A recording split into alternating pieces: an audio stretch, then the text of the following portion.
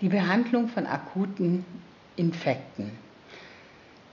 Gerade in der Herbstzeit sind diese Infekte wieder sehr gehäuft. Sie betreffen die Nase, die Nasennebenhöhlen und auch die Bronchien. Am Fuß finden wir die Nase, besonders an der Innenkante der Großzehe.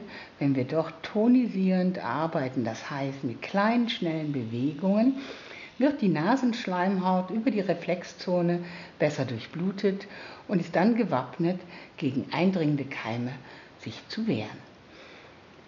Zwischen den Zehen haben wir die sogenannten Schwimmhäute und diese Schwimmhäute stehen stellvertretend für die Kopflymphe.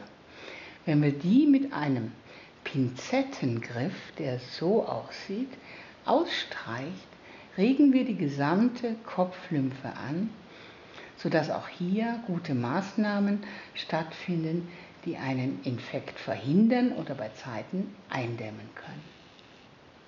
Das ist die Ausstreichung, egal ob vom kleinen C zum großen C hin oder umgekehrt.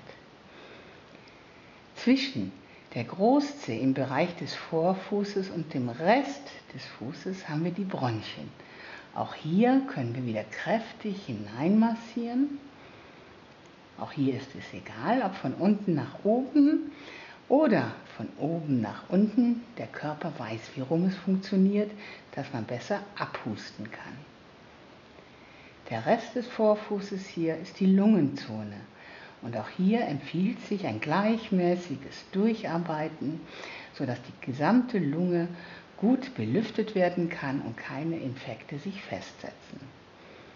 Am Schluss ist ein Ausstreichen des Fußrückens sehr entspannend und sehr schön. Da haben wir auch noch Lungenzone und Brustzone. Und das hilft vor allen Dingen, wenn schon viel Husten war, Verspannungen zwischen den Rippen herauszunehmen.